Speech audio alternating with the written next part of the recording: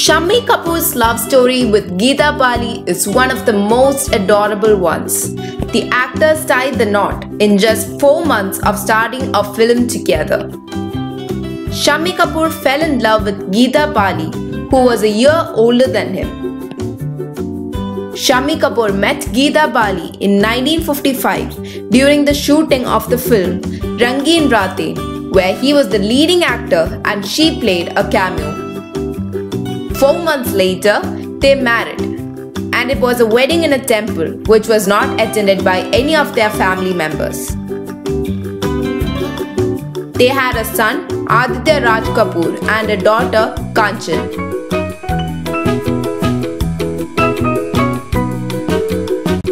She died in 1965, having contracted smallpox while shooting a Punjabi film.